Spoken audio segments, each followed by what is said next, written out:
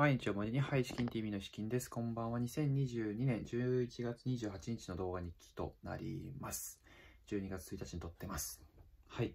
えー、28日はですね、模擬面接というのをね、転職エージェントの方に、えー、やっていただきました。50分ぐらいですかね、フィードバックも含めて、はい。えっ、ー、と、すごくね、えー、練習した回がね、かなりありましてですね、割と、えー、喋りました。その、そこの模擬面接前に、えっ、ー、と、一回ね、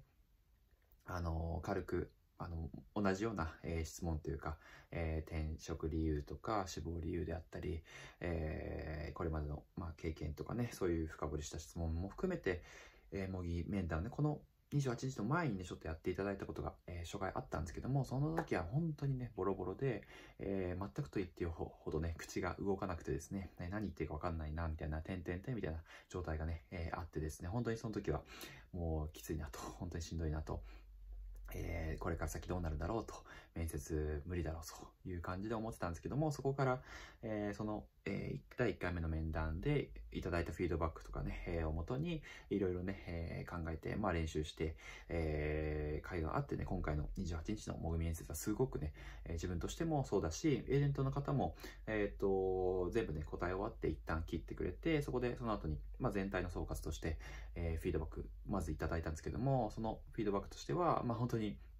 なんかこう、もっと、えー、その喋れないと思ってたんですけども、だいぶ本当に練習した、えー、ですね、みたいな感じであって、まあ、あとはその聞き取りやすいというか、トーンが、まあ、この動画に見ていただいている方はわかると思うんですけども、まあ、この抑揚がないというか、いい意味でも悪い意味でもないので、まあ、こう、トーンがね、声のトーンが一定なので、聞き取りやすい反面、まあ、えっ、ー、と、強調というか、ここを強調して伝えたいんだっていうことがね、わからない、は伝わりづらいので、そこはちょっと改善できればえいいかもしれませんねっていう、まあ、全体的な、まあ、総括であったり、まあ、全体の大枠としてはすごくね、えー、全然大丈夫だということだでした。はい。えー、あとはまあ細かいね、えー、ところを詰めていくと精査していってもっとブラッシュアップしていけば、えー、問題ないだろうとね、いう感じの、えー、いただきました。はい。えー、そんな感じでですね、本当にね、今回の、えー、転職活動に関してはですね、その転職エージェントの方、様々な、えー、転職エージェントの方、まあ、えー、メインはその3人で、お二方かな、えー、なんですけども、えー、模擬面談、模擬面接してくださった方、特に、そこの、えー、今、志望している、えー、企業様の担当ということでですね、かなり、えー、詳しく、えー、というか、真摯に、という、親身になって、えー、面談とかね、いろいろしてくれますので、本当にね、ありがたい限りだなと、本当に、あの、思いますね。何度も言うようなんですけども、本当にありがたいという感じです。はい。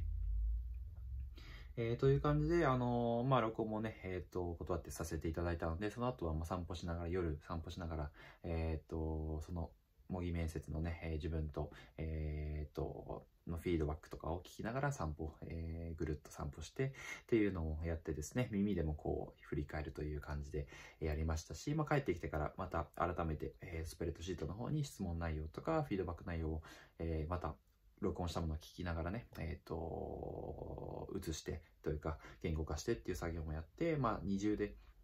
耳も、耳も使って、手も使って、えー、目も使って、三重で、えー、振り返るというステップを踏んでいるので、まあ、そのおかげでも結構着実にステップアップ、えー、離れというか、もうあるんですけども、して、しているなと思います。はい。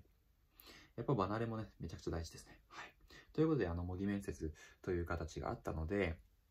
あの、本当に、あの、そういう方、え真摯になってくれる方、えまあ、基本多分頼んだら、転職エージェントの方は、あの、不安なんで、面接不安なんで、模擬面接、えー、対応してくれますかって言ったらね、多分対応してくれるので、あの、ぜひ、まあ、転職、えー、活動するときはね、ぜひそうしていただきたいなと皆さんも思います。はい。そんな感じで、えー、っと、今回は模擬面接に関してね、えー、28日そういう日でした。はい。まあ、模擬面接終わった後はですね、えー、っと、そうですね、テンスラ、転生したスライムだった件を2期、もう本当に3時間ぐらいかけて一気にブワーって見て、見終わったりとかね、めちゃくちゃ面白かったですね。次は映画行きますけども、はい。で、あとは、えー、その後、まあ、アニメね、3時間も見たら目がね、疲れちゃったので、え、ー、と、サウナ行って、目眼性疲労を取ったり、えー、とか、あとは、まあ、家系ラーメンをね、こってりラーメンを食って、えー、面接に向けて元気を、エネルギーをチャージしたという日でした。はい、ということで、11月28日は、模擬面接があって、本当に、転職エージェントの方には、本当にたくさんお世話になって頭が上がらないとえー、ぜひ、ぜひというかね、必ず結果を出したいなと思っておりますという一日でした。それではまたお会いしましょう。バイバイ。